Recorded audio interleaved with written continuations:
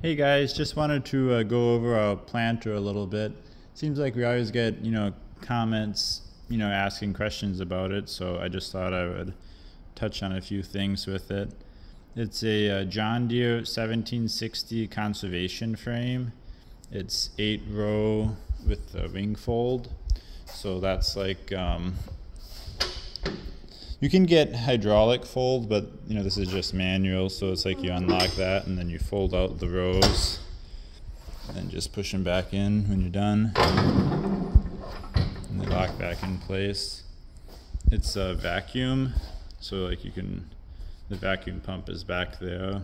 And we have liquid fertilizer, so that's been pretty nice. A lot less uh, handling than if you had a dry fertilizer seems like with dry fertilizer, it's like we are constantly, you know, refilling the planter. So with this, it's a lot less handling, so that's nice.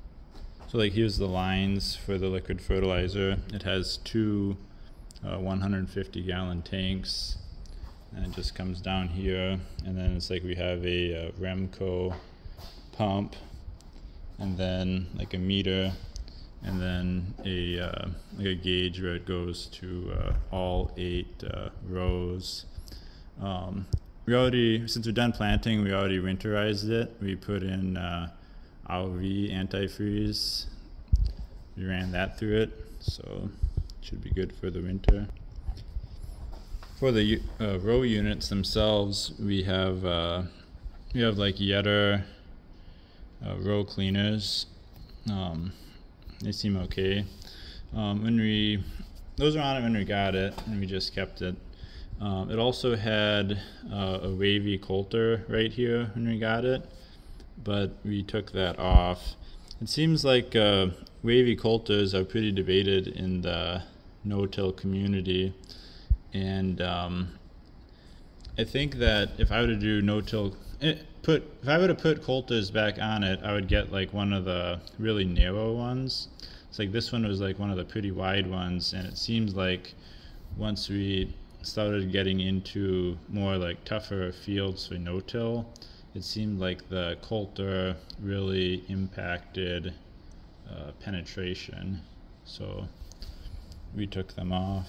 And we have like the regular disc openers, the uh, gauge wheels. You put scrapers on them.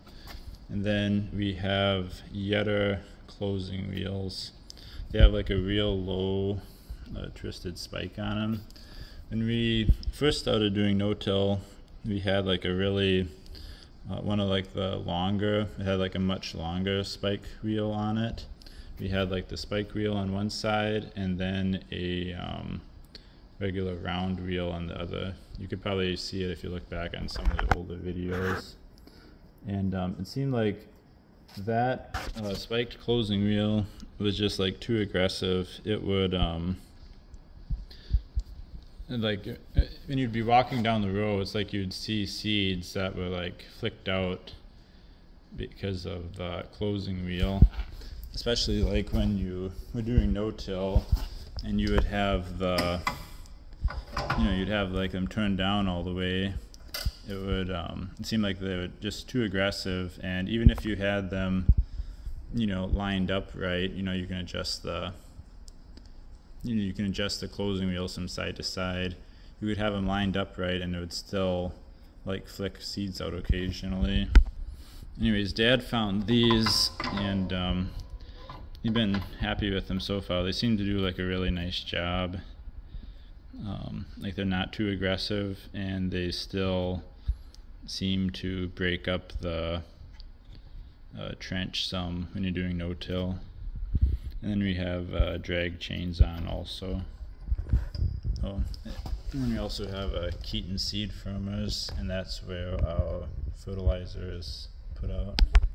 One thing uh, people always ask about too is um, the smelt boxes and uh, these were on it when we got the planter and we uh, never used them once and um, I guess it's something we never really even looked into much or got into so they're kind of just there for decoration at this point. Another thing we got is the heavy uh, the heavy duty uh, down pressure springs So these can do like several hundred uh, pounds of down pressure. Well, you know, standard the standard springs are just like you know here, but these got you know these big compression springs, and that really adds a lot. And you have your vacuum lines. Another thing we started doing too, um, if we don't have fertilizer in the tanks when we're doing no-till, we will um, put water in the tanks. So for instance, this uh, last week we were like no-tilling soybeans into rye stubble and we uh, put 150 gallons of water in between the two tanks and uh, 150 gallons between both of them and uh, it seemed like it really added a lot for uh, down pressure. And you have the yeah the tubes and and then this is where the the drive wheel is and you have like the transmission it's like these are so easy and nice to adjust it's like you just pull this back and lock it back and the chain has slack and you can adjust just adjust it to whatever gear you want and then it does have like a high low gear also on the side make more adjustments to your uh, population. And this is the vacuum pump back here.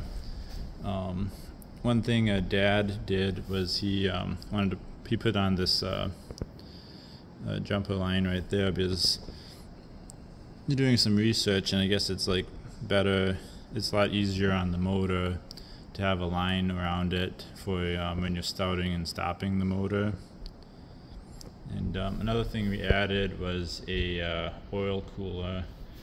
It seemed like um, that hydraulic oil really heats up when you're running this planter. And um, the previous tractor we were using on it, that tractor like overheated on a hot day one time. So it was kind of one of those things like, okay, we need to um, look into, you know, look into like cooler, coolers and stuff. And that cooler really makes a difference. The tractor we've always been planting with as of late has been the 6420 and it seems like that's a really good matchup for horsepower to uh, implement. It seems like if you were um, if you were to have like a 12 row planter, this tractor could never pull it, but like with an 8 row, it's like the perfect, you know, matchup for it. Like it's not working too hard and it can, um, you know, you can still go through a lot. You know, we added front weights to it. It has the duals. In the cab, we have like the, you know, the old original John Deere uh, 150 monitor. And then for the liquid fertilizer, we have a spray mate uh, monitor. Now, like the um, like the pump and stuff on the planter, that's like hardwired right to the tractor's battery. But uh, both the the spray mate and the uh, John Deere monitor both uh, run off the cab 12 volt and then it also has a, a uh, GPS attachment for to regulate uh, fertilizer output. Yeah, so otherwise it's been a good planter for the most part. It's nice to have a, one bigger than the old four row and the six row we used to have. It's like you can get a lot more done, a lot quicker. So it's been nice. Alright, thanks for watching. Have a good day.